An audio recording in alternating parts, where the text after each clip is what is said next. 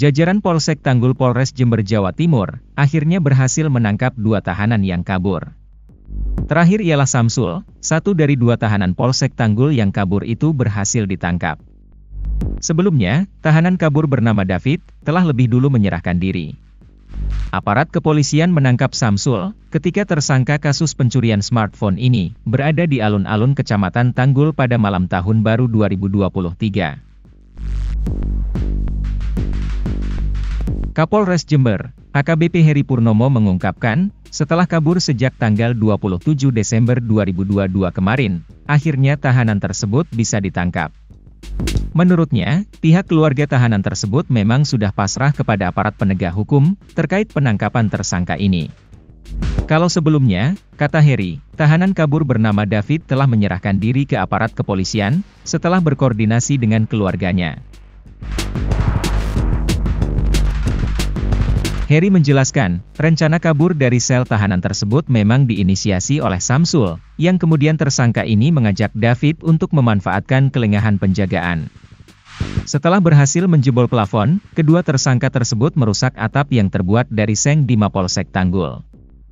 Oleh karena itu, Heri mengimbau kepada seluruh tahanan untuk tidak kabur dari tahanan. Disarankan, tahanan harus mengikuti standar operasional prosedur, atau SOP, proses hukum yang ada.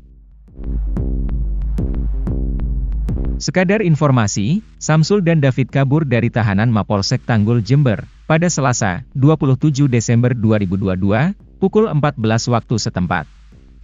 Bahkan sempat menyapa warga saat mereka melarikan diri. pada hari Sabtu sekitar jam 19.30 ya, dari hasil penyelidikan yang dilakukan oleh personel Satreskrim beserta Polsek Tanggul kita berhasil mengamankan uh, satu orang tahanan yang kabur dari Polsek Tanggul atas nama Saudara Samsul. Yang bersangkutan pada saat diamankan sedang berada di sebuah bengkel di wilayah Tanggul.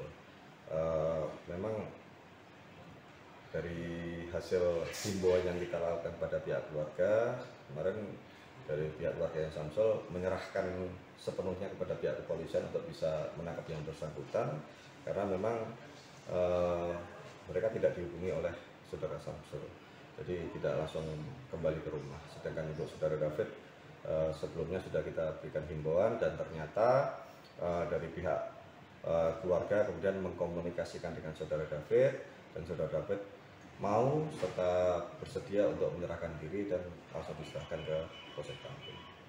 Motivasi untuk mengeluarkan keluar dari tahanan atau kurungan apa sih sebenarnya? Ya, mereka ingin bebas. Terima kasih sudah nonton. Jangan lupa like, subscribe, dan share ya.